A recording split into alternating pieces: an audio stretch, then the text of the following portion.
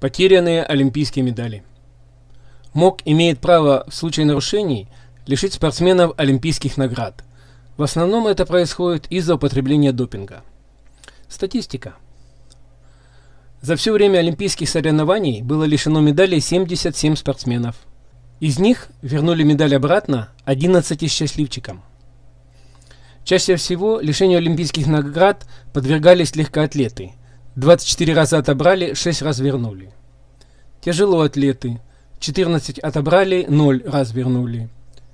Часто спортсмены теряют награды в лыжных гонках и в велоспорте. По странам. Чаще всего лишали наград спортсменов США. 15 раз отобрали, 4 раза они отспорили. На втором месте Россия. 11 раз лишили медалей, ни разу не вернули. И на третьем Болгария. 7 и 0. Посмотрим, когда наших спортсменов лишили олимпийских медалей. Зимняя Олимпиада 2002 года. Ольга Данилова. Золотая медаль в лыжной гонке преследования. Серебряная медаль в лыжной гонке на 10 километров. Лариса Лазутина.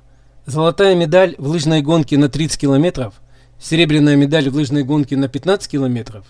И серебряная медаль в лыжной гонке преследования.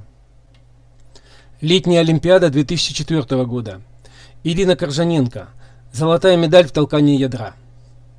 Светлана Кривилева. Бронзовая медаль в толкании ядра.